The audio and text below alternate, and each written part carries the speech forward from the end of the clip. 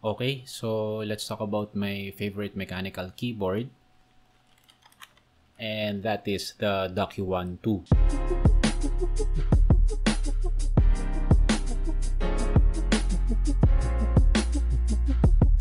Umpisahan siguro natin sa, sa pangalan ano, kasi medyo confusing siya, medyo nakakalito.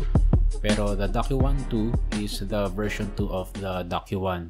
So yun yung model name, uh, DocuOne and yung manufacturer actually is uh, Ducky. It's a Taiwanese brand and I actually bought this uh, keyboard when I was in Taiwan mga years ago no sa Guanghua Digital Plaza.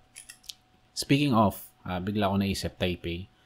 If magiging part pala ako ng crew ni Professor sa Money Heist, yun ang pipiliin kong codename na Taipei. Hindi naman dahil sa Asian ako na, pero I just really like the city Taipei. So, bakit ito ang favorite ko?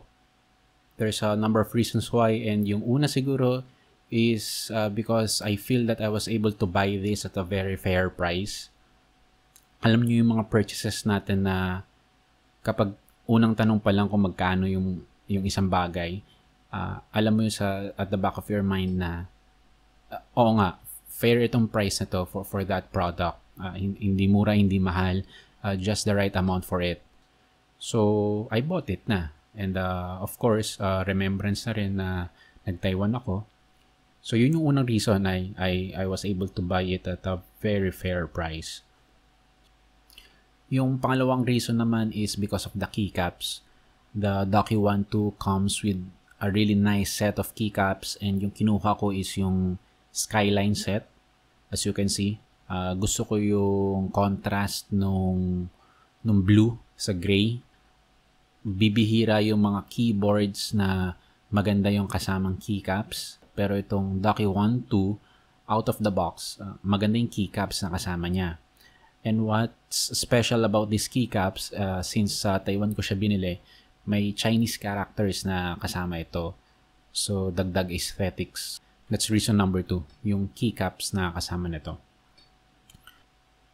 Reason number three, I think would be the overall feel nung build quality niya, no?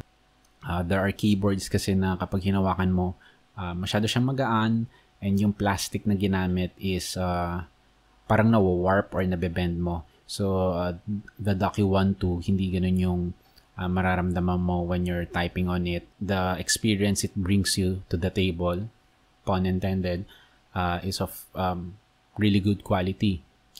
The next reason is also one of the reasons why I became interested sa mechanical keyboards and that is because of the sound that the keyboard makes.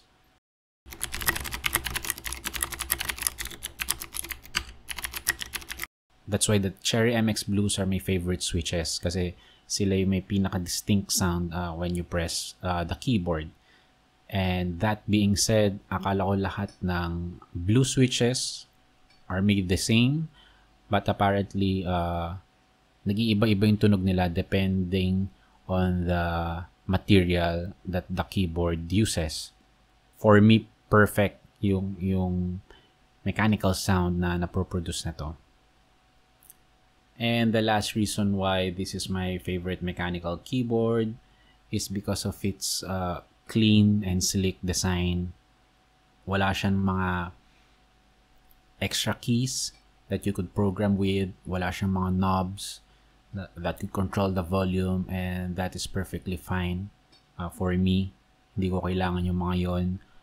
Wala siyang intrusive na branding the way the design comes as a whole is is really aesthetically pleasing. You could route the cable uh, either to the left or to the right or uh, sa harap. It's a minor feature but uh, it greatly helps uh, sa cable management. Ayun lang, napaka-minimalist ng dating ng Ducky 1 2.